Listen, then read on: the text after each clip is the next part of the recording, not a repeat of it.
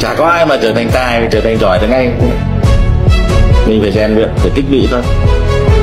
Mọi cái cơ hội, mọi cái điều kiện để chúng ta tích lũy. Thì làm sao mỗi một năm mà chúng ta à, lại dày thêm một vòng phân bộ?